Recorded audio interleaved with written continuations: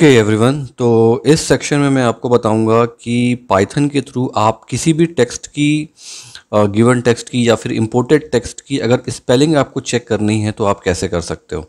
ठीक है? देखो, ये इसलिए ज़रूरी है क्योंकि कई बार जब आप मशीन लर्निंग पे या पाइथन पे स्पीच रिकॉग्निशन के सॉफ्टवेयर्स बनाओगे या फिर किसी भी चीज़ को इंपोर्ट करोगे, जिसका करेक्ट आउटपुट बहुत ज़रूरी है, क्योंकि ये सब कुछ एक डेटा साइंस को बिलोंग करता है, ठीक है? और डेटा साइंस में डेटा जो है बहुत इंटीग्रल पार्ट होता है।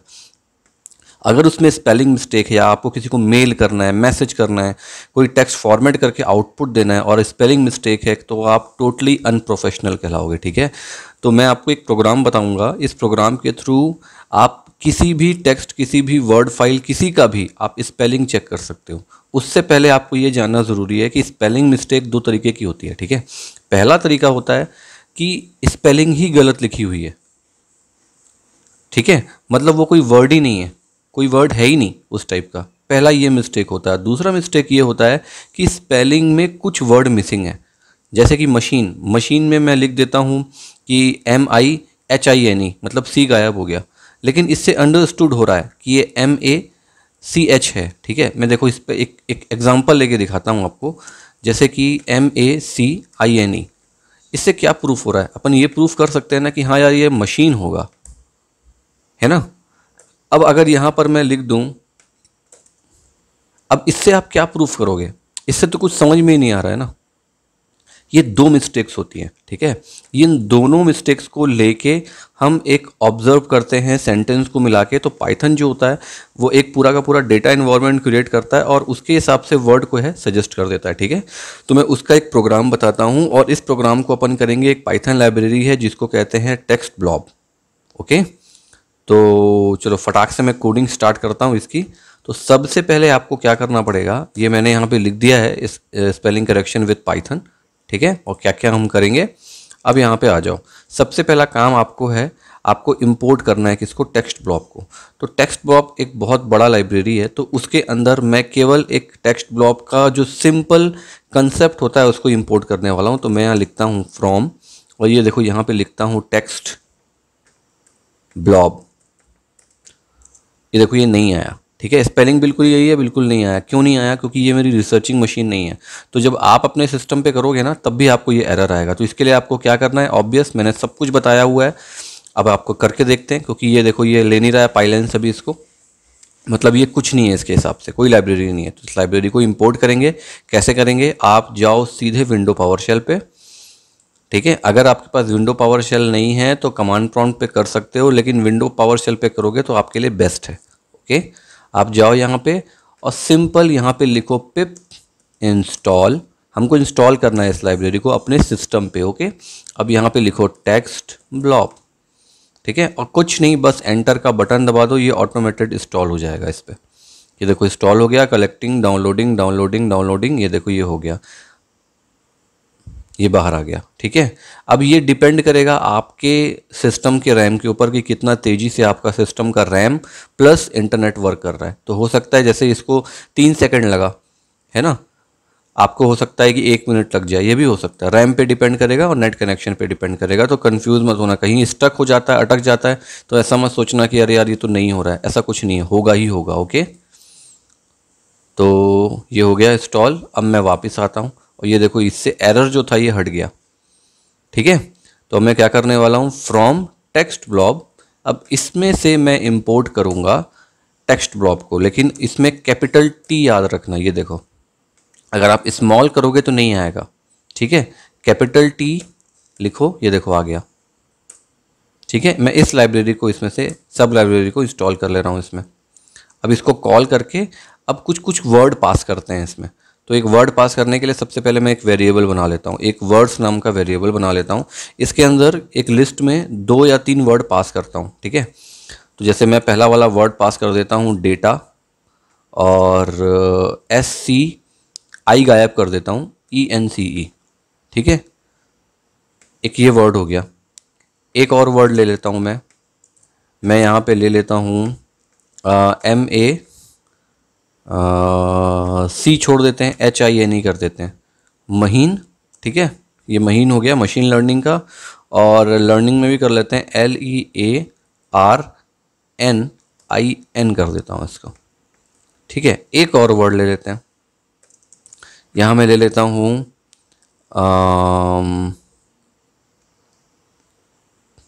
क्या ले लें यहाँ पे? यहाँ पे ले लेते हैं D I C T T छोड़ देते हैं I O N A R Y ठीक है?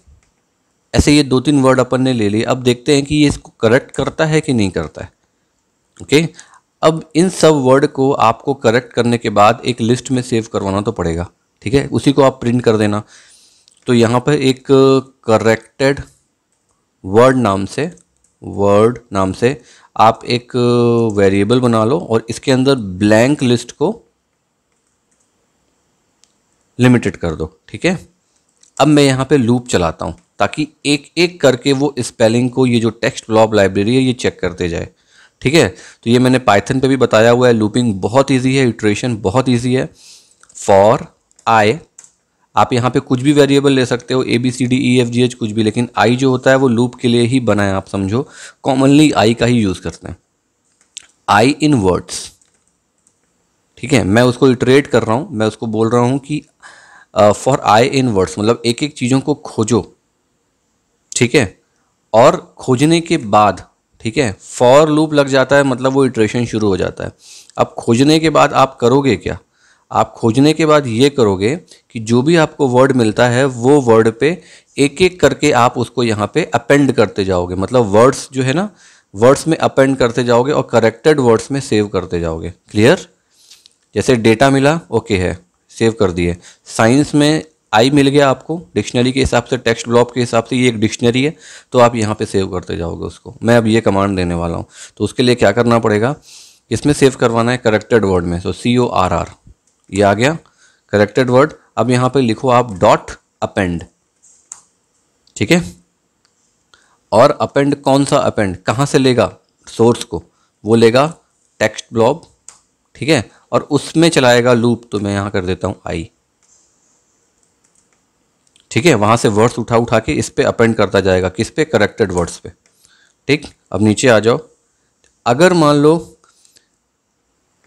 वर्ड करेक्ट होता है तो करेक्टेड वर्ड्स आर इस टाइप से कुछ स्ट्रिंग पास हो जाएगी। अदरवाइज़ एक हो जाएगा रॉन्ग वर्ड ठीक है तो मैं यहाँ लिखता हूँ प्रिंट और यहाँ पे कर देता हूँ, एक स्ट्रिंग पास करता हूँ। रॉन्ग वर्ड ठीक है? ऐसे कर देता हूँ और हम्म, यहाँ पे उस जो लिस्ट है उसको पास कर देता हूँ किस पे? ये वाली। इसी के अंदर से वर्ड्स उठाएगा तो ये हो गया वर्ड्स ओके अब नीचे आ जाओ। यहाँ पर एक और प्रिंट ले लेता हूँ मैं करेक्ट वर्ड के लिए। और यहाँ पे दे देता हूँ C O R R E C T E D corrected words are कर देता हूँ और यहाँ पे बढ़िया एक कोलन लगा देता हूँ इसको दे देता हूँ जगह और जो वर्ड्स आएगा वो यहाँ पे पुटअप हो जाएगा सिंपल ठीक है? Hmm,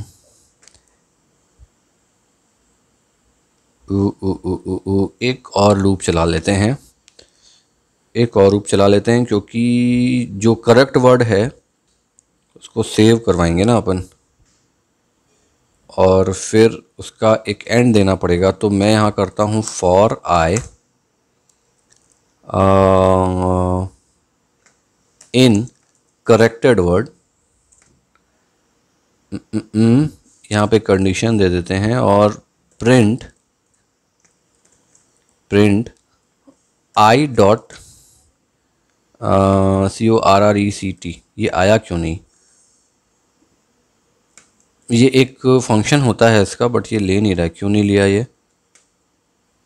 एरर भी नहीं आया मतलब ले लिया है लेकिन क्यों नहीं लिया? क्यों वैसा आना चाहिए उसको एक्चुअल में? कोई बात नहीं, कोई बात नहीं। And end is equal to इसको मैं कर देता हूँ स्पेस इस पे छोड़ो, इस पे छोड़ो, इस पे छोड़ो, इस पे छोड़ो। ठीक है, ये प्रिंट हो गया, है ना?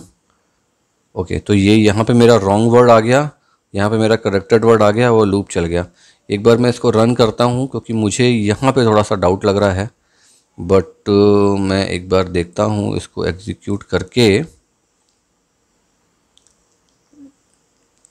डेटा साइंस ये ले लेना चाहिए।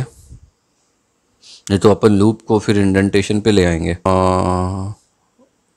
ओके ये फाइनली आ गया मेरे पास में। अब मैं आपको बता देता हूँ कि ये कैसे किया इसने। देखो, हमने लूप चलाया है ठीक है? और हम क्या कर रहे हैं? एक एक चीज़ों को वन बाय वन यूज़ करके अपेंड करते जा रहे हैं। तो देखो रॉन्ग वर्ड में पहला वाला कौन सा है? डेटा साइंस मशीन ये रॉन्ग वर्ड है, ये भी रॉन्ग वर्ड है।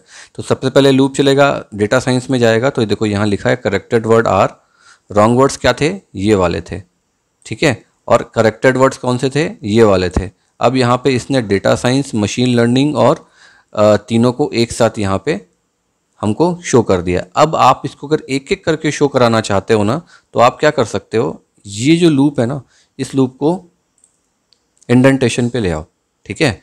अब ओके करो और ओके करके वापस इसको एक बार एग्जीक्यूट कर दो वापस। अब देखो एक एक करके ये ले आएगा। कई बार क्या होता है, हम एक एक करके चेक करना चाहते हैं राइट तो ये देखो, ये ले आया, ठीक है? पहला रॉन्ग वर्ड कौन सा था? Data science machine learning dictionary ये वाला था। अब ये पहले क्या करेगा? सबसे पहला वाला लूप के हिसाब से डेटा साइंस है तो ये देखो, यहाँ पे इसने दे दिया corrected word are data science ठीक है? उसके बाद फिर ये रॉन्ग वर्ड पे चला गया। अभी इसने मशीन लर्निंग को प्रिंट नहीं किया। ये फिर से रॉन्ग वर्ड पे गया। डेटा साइंस को देखा करेक्ट हो गया है मशीन लर्निंग बचा है मशीन लर्निंग पे गया। उसके बाद ये देखो, इसने फिर से डेटा साइंस और मशीन लर्निंग को प्रिंट किया है। ठीक है? उसके बाद फिर रॉन्ग वर्ड पे गया। उसके बाद डेटा साइंस उसने देखा चेक किया, हो गया है मशीन लर्निंग हो गया, अब डिक्शनरी बचा है। तो डिक्शनरी को फिर उसने उठाया डेटा साइंस मशीन लर्निंग और डिक्शनरी ये तीनों को स्टेप बाय स्टेप इसने प्रिंट किया ठीक है? तो इसमें इंडेंटेशन का इसलिए मैंने बोला, अगर आप फॉर के अंदर नेस्टेड फॉर चलाते हो, ठीक है? तो one by one one by one ये चेक होना शुरू हो जाएगा। अगर आप इसको इंडेंटेशन से बाहर कर दोगे तो एक साथ सब कुछ को प्रिंट कर देगा यहाँ पे लाके। ठीक है? तो अब ये डिपेंड आप पे करेगा कि आप किस तरीके से आ, अपने आउटपुट को लेना चाहते हो। उसको कहीं पुट करना चाहते हो तो कैसे पुट करना चाहते हो? एक साथ करना चाहते हो या one by one step by step करना चाहते हो? ठीक है? तो आई थिंक आपको ये समझ में आ गया होगा। कोड बहुत छोटा सा प्यारा सा कोड है ये। इंपोर्ट करना रहेगा। तो सिंपल इनपुट बॉक्स देके इंपोर्ट कर लेना। वहाँ पर आप पांडास के थ्रू जाना। और पांडास लाइब्रेरी के थ्रू और टेक्स्ट फ़ाइल या वर्ड फ़ाइल जिसको आपको इंपोर्ट करना है इंपोर्ट करके बाकी सारे कोड बिल्कुल सेम रहेंगे। ओके कुछ कन्फ्यूज़न होती है तो मैसेज करना मैं देखता हूँ, उस पर अलग से कुछ बना सकता हूँ वीडियो तो ठीक है। ओके चलो, ठीक है ओके